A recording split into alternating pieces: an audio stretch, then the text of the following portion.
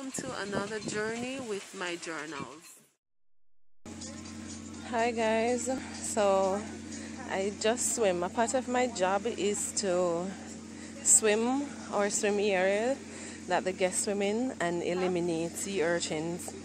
So it is a little bit rough today, but I just swam and I found just one sea urchin. What we normally do, we take them and we throw them out further into the sea, you know, so it is for no one to step on them.